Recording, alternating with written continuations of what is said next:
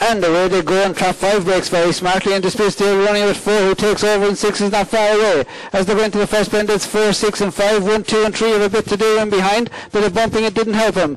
Entering the backstretch with 300 yards to go it's trap four. Tarsna Rose by a length and a half from six and second. Code Boherna. Uh, they're three lengths clear of trap five and third Point Honey. As they're on the third bend. Trap four still has the advantage but six looks a huge danger now as he joins level. Coming for home is trap six. Code Boherna now uh, kicks on for home. Gets up to him. Five runs on for second and four third. Six, five and four for your trio. The winning time 29-18.